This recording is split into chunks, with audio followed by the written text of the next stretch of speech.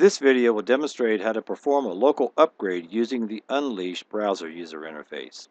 Unleash provides two methods of upgrading the firmware, an online upgrade and a local upgrade. You'll use the online upgrade method to upgrade your Unleash network with the latest firmware available from the Ruckus Support Unleash firmware server.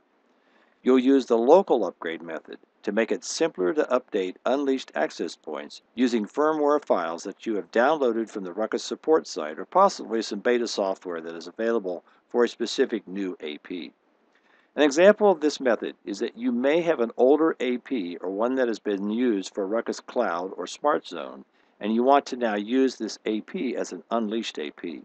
You may also be testing some beta code that is not yet available on the Ruckus support site. As a reminder, each Unleashed AP model has a different firmware image file that must be loaded onto the Unleashed master and then distributed to member APs model by model. So for example, if you have a mix of Unleashed R500 and R710 APs, you could upgrade all of the R500s first and then the R710s, or the other way around.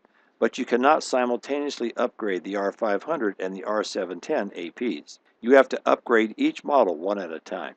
Here we have a situation under the access points that one is disconnected. If I click on the access point bar, you notice that this AP says that it needs an upgrade. If I click on that AP, it'll say that the upgrade is necessary and it gives me the firmware version that I have here. If I go back to one of the other access points, you'll see that the firmware version here is 200.6.10.1.300. Back on this guy, it's 200.3.9, so you can obviously see there is a firmware mismatch. So I could click on Upgrade and do it this way, but there is another way that this could be done. So I'm going to close the access point bar. So I'm going to click on Admin and Services, and under Administer on Upgrade, we have our firmware upgrade. So there's two ways that I can do a firmware upgrade. I can do it online, and I can do it local. If it's online, you would select the firmware version, and as you can see, we're up to date here, so there's no current firmware versions that we have to do. So in this case, we're going to select the local upgrade. Now if we look at this and go to the bottom, we have a master AP, an R600, and an R500, and on the new member AP that's joined, it says that the AP firmware is mismatched with the master. So before doing this operation, I would have had to have downloaded that firmware file. Now I'm going to browse to it by clicking on Browse, and I'm going to select the R510 firmware version. Notice here that it's 200.6.10.1.300. So that's the one I want. I'm going to open it, and it is uploading. Now that the file has been uploaded, I'll go ahead and do an upgrade. And go ahead and start the upgrade process.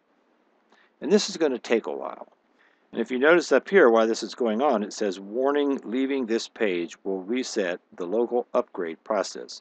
So you don't want to go off this page. You want to let the process complete. So what we've done is just preloaded that image. And it says the function of the preload image is to upgrade version mismatched APs only. Once the AP is connected, the upgrade button below can be clicked to upgrade it. So that's what we're doing at this point in time. Okay, now we can see that it is starting to load the image. And this is going to take a few minutes to do this as well. Now we see that the AP is rebooting. And now it shows that we have 100% success. After the rebooting is successful at 100%, the access point is going to reprovision itself and boot back up, and it'll take about another minute or two for that to happen. But now we should have the same firmware versions. So let's close this window and go back to the access points. And this was the AP that we just upgraded. So I'll click on that one. And now it says that the version is 200.6.10.1.300. And we can compare that with the other one. And that is 200.6.10.1.300 as well. So we've now just done a successful local upgrade using the Unleash browser user interface.